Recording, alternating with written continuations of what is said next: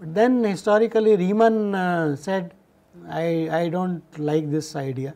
He did not say that, but essentially he said why we should assume that the function should be bounded. So, his idea was very nice one. He said uh, intuitively seems, so this is A and this is B. He said this is the graph of the function f of x and what you want to do, you want to capture the area below the graph of the function. So, this is the area that you want to capture, right. Okay. So, to capture this area, what you are doing is you are trying to take uh, upper sums and lower sums and trying to capture them in between. But let me do this way, let me take any point in this, take this height and take a small nearby point c plus delta x. So, that will give me this. So, look at the area of this strip. Okay. And try to imagine the whole area being made up of these thin strips. So, what is the area of this strip? You can take f of c into delta x and try to sum it up. And the idea of summation is same that you take partitions and make partition finer and finer. But his idea is instead of taking the minimum and the maximum in the sub interval, take any value in that sub interval and take any uh, rectangle of that height. So, let me define that and uh, so definition. F is a function on a b to r. So, let P be a partition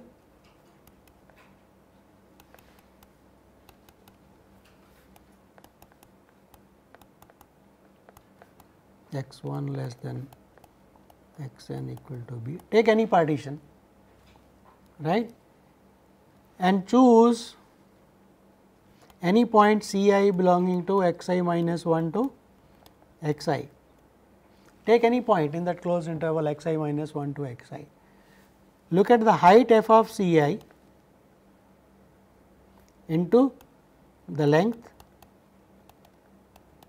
So, that is that the strip right take the summation that gives you an approximate size of the area below the graph of the function. So, so let us call it a S P F. Now, there are two things one should observe. To define this sum, we do not have to assume f is bounded. We do not have to assume because we are looking at the value of the function at some point. So, we are taking the height of the function at that point into. So, right hand side is meaningful. This, so, this sum is well defined, right. We do not have to assume at the same time note that the point C i is a arbitrarily chosen point in the interval x i minus 1 to x i. You can take the left end point, you can take the right end point, you can take the midpoint or you can take any point does not matter. So, look at this and look at the limit norm of p going to 0 make the partition finer and finer SPF. So, if exists we say f is now we will call it as Riemann integrable.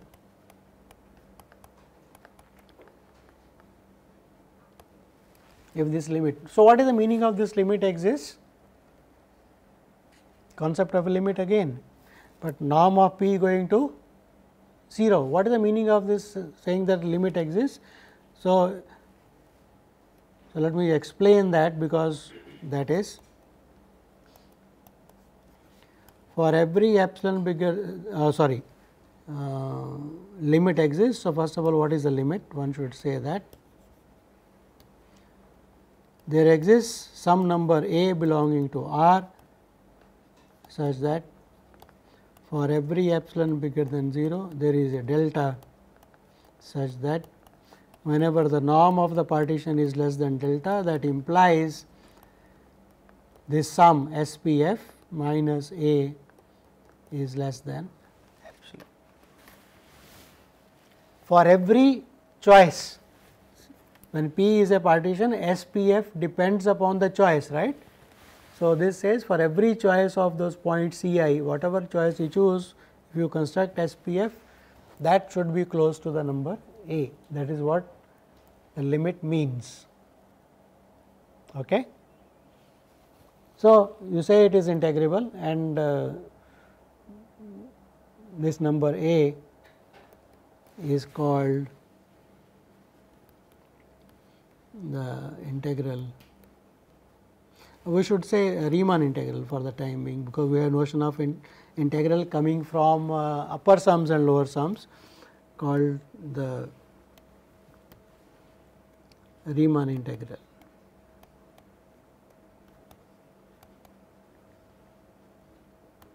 of f.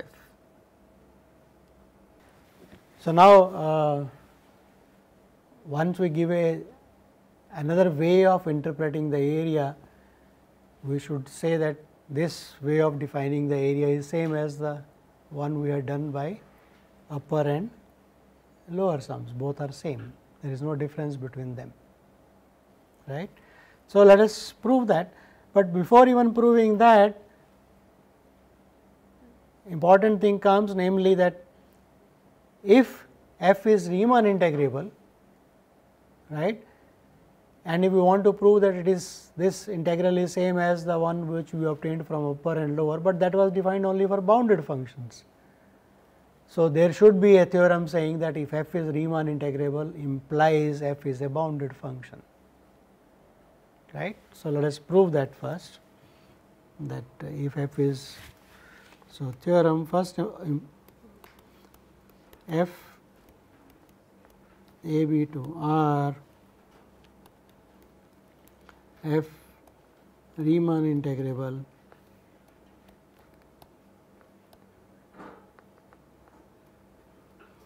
implies f is bounded. Right. Intuitively it seems quite okay because if the function is unbounded those strips areas you can keep on increasing right that is one way of looking, but let us look at another way of proving this. So, f Riemann integrable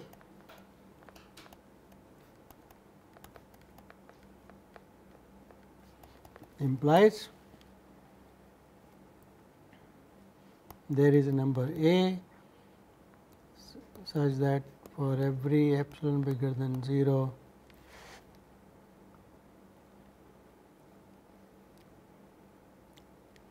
there is a delta such that for every p norm p less than delta implies SPF minus A less than epsilon. See boundedness means what? We should be able to show that for every point x mod of f of x is less than or equal to some constant that is what we want to show. Okay. So, let us uh, so, let us say this P is a partition. So, something say A is equal to x 0, x 1 less than x equal to B. Right? Then for every point S i and T i, see the SPF requires choice of a point in between the interval x i minus 1 to x i right. So, let me choose some points x i t i uh, between x i minus 1 and x i. Then for every such choice we have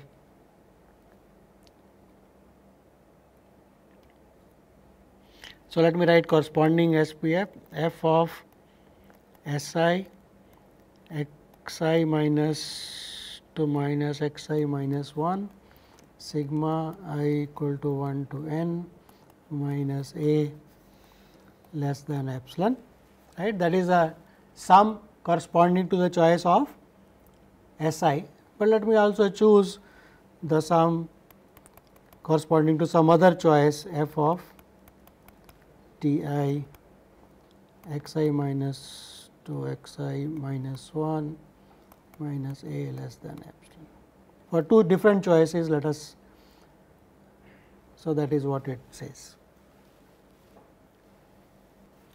but we only want at a point. So, let me make a ch choice. So, let us choose S i equal to t. Uh, okay. No, no. Let me just uh, let us uh, try to take uh, from these two equations. Let us subtract them and see what we get. Sigma of f of S i minus f of t i equal to 1 to n. If I subtract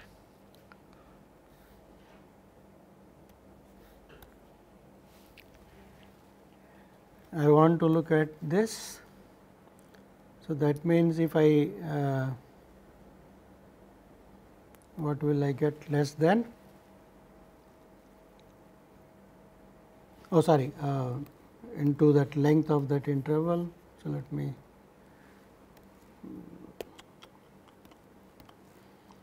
minus f of t i into x i minus x i minus 1. I want to estimate this quantity right. So, I can add and subtract a. See this is summation this the first term minus mod a, this minus mod a. So, summation f of s i minus capital A times this plus minus of that. So, I am saying this is less than 2 epsilon is that okay? Because what is the first term summation f of s i times this length. So, I can add minus capital A. So, I will get 1 epsilon by using triangle inequality and that other one I will combine it with the other one. So, triangle inequality. So, add and subtract capital A in this thing and use triangle inequality and use this 1 and 2. Is that okay? Or shall I write that step? So, let me probably in case it, you feel uncomfortable, let me write. So, the reason is because this quantity right is this summation f of s i into x i minus x i minus 1 minus a plus the other term uh, sorry uh, minus summation f of t i that thing minus a add and subtract right and now use triangle inequality. So, this will be less than or equal to absolute value of this plus absolute value of that and use 1 and 2 to get the required thing. So, this is less than 2 epsilon. So, let me call this as 3. So, in this 3 let us put take S i equal to T i for every i bigger than or equal to 2 then what will happen? That terms will be 0, right? Those terms will be 0. So, what is left is the first term f of s 1 minus. So, that will give me implies f of s 1 minus f of t 1 absolute value into the length x uh, x 1 minus x 0 is less than x 1 that is positive anyway less than 2 epsilon. Is that okay? In equation 3, I am putting S 2 equal to T 2, S 3 equal to T 3 and so on all remaining terms will be 0 except the first one. So, first one will be f of S 1 minus f of T 1 into the length. So, that is x 1 minus x 0. Okay. So, that is the case. So, what is mod f of s 1 is less than or equal to what is mod of f? So, mod of f t 1 into x 1 minus x 0 plus 2 epsilon. Is that okay? From here this implies this. Is that okay? Mod of a minus b less than something. So, what is mod a less than? Okay. Triangle inequality again. You can add and subtract if you like. And now, now look at this quantity f of t 1 is a value at some point t 1 okay length of the interval so this is less than or equal to some number right f of t1, the value of the function at a point t1 of your choice. You can take it f of t1 to be the left hand point a1, a. So, it f of a into the length. So, you can put maximum b minus a, right. This is the length of the sub interval. You can bind it by the total interval plus 2 epsilon. Is that okay?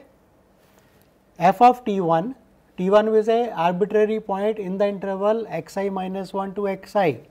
So, let me take the arbitrary point as the left end point A. So, T1 is equal to A, x1 minus x0 that is the length of the sub interval. So, that is less than the length of the full interval that is b minus a 2 epsilon. So, call this as a, some constant m. So, what is S1? S1 is a arbitrary point in the first part so, what we have shown is the function is bounded in the interval x 0 to x 1 right s is arbitrary. So, since s is arbitrary s 1 is arbitrary in the first part that is a to x 1 f is bounded in x 0 that is a to x 1. So, what we have shown is we have found a partition. Now, so how did I get the first one? By choosing S i equal to T i. Can do it with other ones now. S i equal to T i everywhere for all i except 2. So, I will get boundedness in the second interval and so on right. So, similarly other sub intervals. So, let me write. So, similarly f bounded in each one of x i minus 1 to x i for every i and that proves it. Yeah, okay, you can divide by that also. Uh, okay, so to be very precise, uh, it should have been multiplied by this. So, 1 over of b minus a, put that also if you like. Take it on the other side, there is a constant multiplying, that is what your question is. This multiplied by x 1 minus x 0. If I divide, so it will be 1 over of this quantity, right.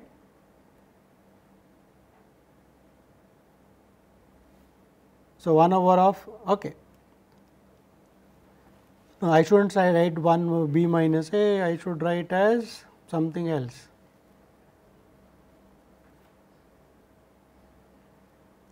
Yeah, I think uh, f of s 1 minus that makes it smaller. yeah there is minor thing I think from here if you want to go then you should.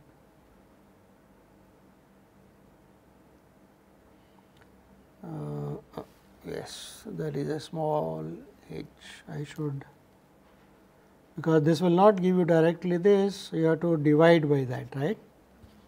X 1 minus x 0 so, uh, this is not correct. We should have x 1 minus x 0 multiplied by this is less than or equal to this quantity. Okay. Uh, so, uh, you will have 1 over of x 1 minus x 0. Can I uh, bind that with something? Yeah, I think